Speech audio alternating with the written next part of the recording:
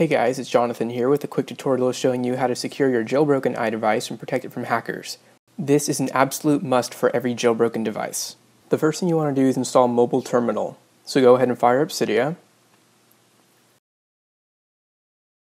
Go to search, type in Mobile Terminal, click on the first one, go ahead and install that.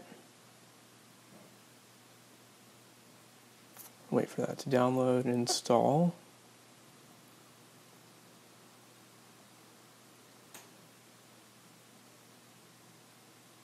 Okay, press return to Cydia.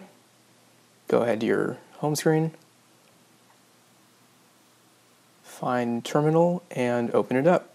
The first thing we're going to do is change the root password. Start out by typing su space root. Next type in alpine, A L P I N E followed by PASSWD. Now you can enter in whatever password you want. Go ahead and put in geeks. And one more time. Once you're done, go ahead and type exit and press return. Now we'll go ahead and change the mobile password. Go ahead and type in PASSWD. Put in the old password, which is again Alpine, A L P I N E, and go ahead and put in your new password. Once you're done, type exit again, press return, press return once more, and that's it.